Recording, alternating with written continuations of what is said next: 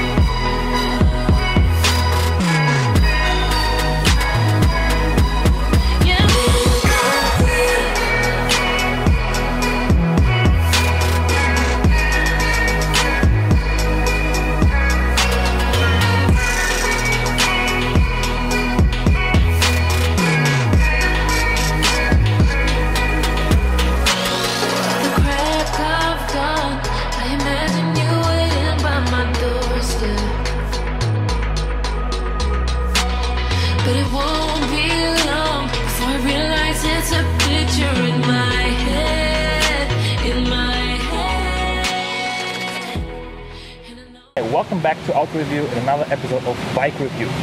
Please, if you enjoy this video, subscribe now and activate the bell button so you're informed about any new video coming up. Thank you very much Moto Center Thun who provided this bike to me so I can show it to you and I was able to test it for the last two days and I'll give you my resume now. So, first effects, what do we have here? This is the 2017 BMW R1200 GS Exclusive. Exclusive is one of the different models there. There's the GS, the Adventure, and the Exclusive. We have here 125 horsepower at 7,750 RPM, 125 newton meters of maximum torque at 6,500 RPM, 0 to 100 in 3.6 seconds, top speed more than 200 kilometers an hour. We have a fuel tank capacity of 20 liters. Uh, I had a fuel consumption between 4.4 and 5.2 liters, depends on how you drive. And the price for the R1200 GS starts at 16,490 Swiss francs. The bike that we have here, with all the different equipment on board, we have different packages, I'll tell you in a moment as well, is 21,460 Swiss francs. We have a seating height of stock 850 millimeters. You can get a higher one with 870 millimeters. Weight with 90% fuel tank is 244 kilograms. Suspension in the front is 190 millimeters. In the back, 200 millimeters travel way. And we have here the comfort package, we have the dynamic package, and we have the Technic package or Technic packet. Um, so some things that come in these packages. For example, we have B LED headlights, which is amazing. I was driving yesterday at night and it was really great. The normal one is good, but once you put on a high beam, it's pretty much daylight in front of the bike. Uh, we have the guards here for the hands. We have heated grips in two settings. Um, there is no heated seat on this one. Then we have the windshield that you can actually bring up and down manually, as you can see here. We have a keyless ride, so you basically put the key just in your pocket, like that. Uh, you don't have to put it in anywhere. We have a navigation uh, installment kit that basically is ready to go, so you can just plug it in and it will be powered. We have cruise control, which works really, really superb, which is on the left side here. We have um, the Sch- uh, Schalt Assistant Pro, which is basically shifting up and down without actually clutching. So you can basically, once you accelerate and you keep the gas on, you can shift up and you can shift down with the gas or without the gas. Um, it's a bit tricky in, from first to second gear because it's really, really powerful and you have to be a little bit careful. Uh, but it works really nicely, and especially when you accelerate hard, you don't have to worry about uh, clutching anymore. You just shift up. It's basically like an automatic kind of. The only thing you have to do is shift with the left foot. And uh, yeah, that's pretty much it. So, one thing I was actually surprised by the bike is how easy it uh, handles and how easy I can drive it. I was always a little bit not afraid, but I had respect in front of the GS uh, because it's just a big bike. But actually, once you drive it, you don't really feel it. The power with the weight together, yes, 125 horsepower and 244 kilograms plus the driver on top is quite a lot of weight. But actually, it handles easier, for example, than the K1600 bagger that I drove. So I'll link it up here. Um, and was super easy actually to maneuver it uh, in reverse as well. So there's no problem whatsoever. You don't need a reverse gear like in the bagger. it's very very comfortable, and that's one thing that I was surprised by. I knew that the GS is a bike that a lot of people use, especially here in the Swiss mountains when they travel over the Alps, uh, and you see tons of them on the Grimsel Pass, Furka Pass, and so on. Uh, but I was really surprised how comfortable it is to sit on the bike and how comfortable it is to ride. We have obviously different ride modes, we have different suspension settings, uh, four and three. Uh, we have enduro setting, we have a road setting, we have a dynamic setting, and uh, rain setting. And then we have uh, as well dynamic and road for the suspension. You can adjust the ABS uh, in different settings as well. So overall, it's actually a very impressive bike. But enough of the talking. Now let's drive, and I'll show you and tell you what it is to drive it. And we're gonna do it here in the mountains. Enjoy. All right, so now what do I think about the GS and how does it drive? First of all, power is plenty, torque is plenty, and you have to be very careful, especially with the um, Schalt assistant or the shift assistant. I'll show you the first gear. And with this nice crackle the first gear at 3000. So you see when you do first gear and you shift up, see it's quite abrupt and he kind of slams it in so you have to be careful so I would first second third gear I would do with clutch. And then I would use the assistant. Now handling wise yes you feel the weight. However it's still it's still very nice to drive. Um, once moving there is really no problem. Obviously it's physics right? Uh, to get it in the corner yes. It's different from a sports bike. Obviously, we have a lot of travel way, 190 millimeter in the front and 200 in the back. But um,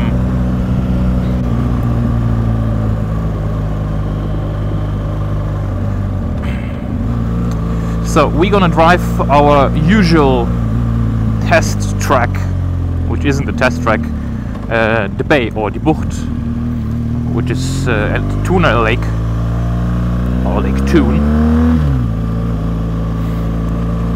and you will try to accelerate.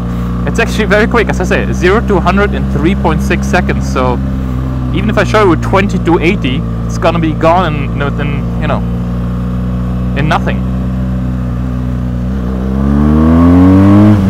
No, that's 80 from 40. So we're gonna do it from 20.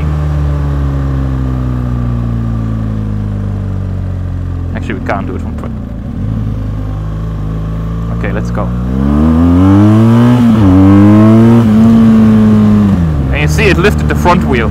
So you have to be very careful. I would not recommend this bike. Oh my god, I just killed a fly exactly in my face. I mean, luckily I had the windshield on. Um, yeah, so you have to be very careful because uh, it goes up if you uh, accelerate too hard. So I would not recommend this to uh, a beginner or someone who hasn't ridden in a long while. Um, I'm gonna stop here because I want to actually show you how it how to drive it without talking so you can enjoy the sound and the view. I put down the windshield because you can lift it up here as you can see but I put it all the way down so we don't have um, the sticker because there were some stickers and there's something left there. So enjoy and I'll see you after the bay and uh, tell you what I think about it.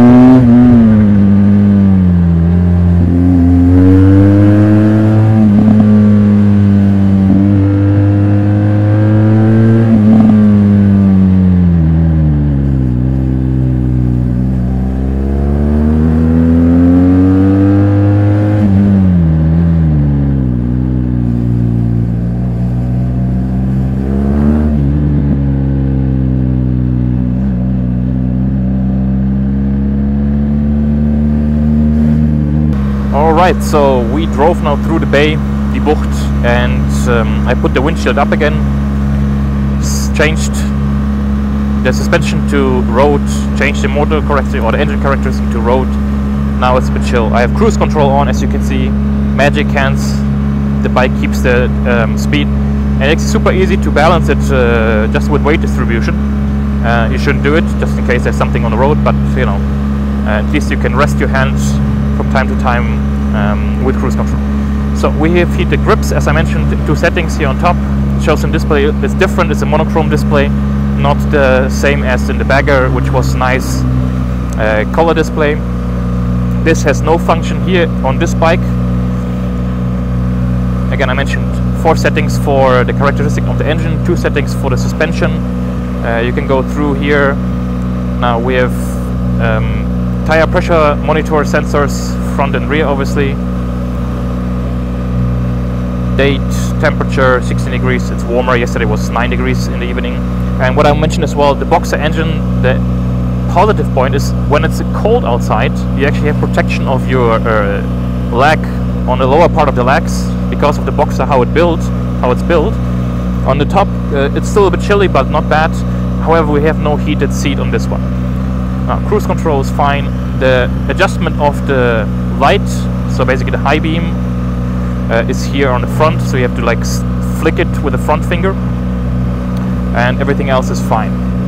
Problem with BMW, as usual, a lot of money you pay, you get good quality bike, but for example, the buttons are not illuminated, and you get this on really cheap bikes. You get this on a KTM Duke 125, just on the side. So, as I mentioned, we have three packages built in here. Um, this protection here, which is really good. Actually, it helps a lot when it's cold outside. In addition to the heated grips, it's actually perfect. And what else can I tell you? Now, I put the windshield up. You saw it. We can put it down again, or any liking you can do. Would be nice if it would be electric. And obviously, we have uh, a speed camera there. Hello. Driving very slow. So, resume. And uh, yeah, so overall 6490 base price and 21460 as it is here for the exclusive. Um, would I recommend the bike? Yeah, because it's super comfortable. It's really a lot of comfort on this bike. The seating position, the handle, uh, how the arms are. You don't get really tired. I drove 65 kilometers uh, in a piece yesterday night at 9 degrees. The LED light is amazing. The high beam is LED as well, so B by LED or B LED. Uh, it's really great. Yeah, I love it, and it's very comfortable. Fuel consumption 4.4 to 5.2. Let me see, 5.7 I have now because I was driving a little bit harder now. Uh, it depends on how you drive. When I picked up the bike and had a couple thousand kilometers on the clock, they didn't reset the um, fuel gauge, so it was at 4.4 liters. So you can drive it really economical. 20 liter tank means you can get what 4.5, 9, 18, 400, 450 kilometers, let's say. So you can go over the uh, Swiss Alps, over the over pass, uh, without worrying that you run out of fuel. Navigation pre-installed. Uh, I mean the you know the holder here. So. Um, really great bike. Yeah. Thanks a lot for watching. I hope you enjoyed this little ride here. You saw it was actually way overpowered in this twisty road. Second gear, I couldn't even uh, rev out the second gear because I would be way above uh, 100 kilometers an hour. So I drove like 85, 90 or something, and then I had to, you know, take down the throttle. And um, yeah, you shouldn't be worried about that you don't have enough power or anything like that. So thanks a lot, Moto Center Thun, link in the description. If you have any question, just put them down, subscribe, activate the bell symbol, and I'll see you next time. Bye.